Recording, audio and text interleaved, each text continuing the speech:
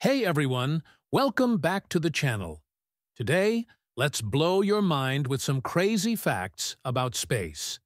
Did you know that space isn't actually completely silent? While there's no sound in the vacuum, certain waves, like electromagnetic ones, can still be detected. And NASA has actually recorded eerie space sounds from planets. Also, one day on Venus is longer than its year.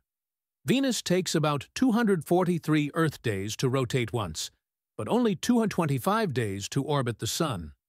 Here's a weird one. Neutron stars are so dense that a teaspoon of one would weigh more than a billion tons. That's the same as Mount Everest, in your hand. And get this, if two pieces of the same metal touch in space, they instantly bond. It's called cold welding, and it happens because there's no atmosphere to keep the atoms apart.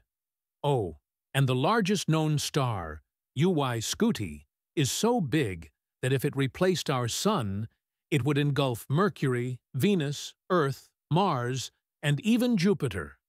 Space is wild, and we've barely scratched the surface. Don't forget to like and subscribe for more cosmic content. See you in the next one.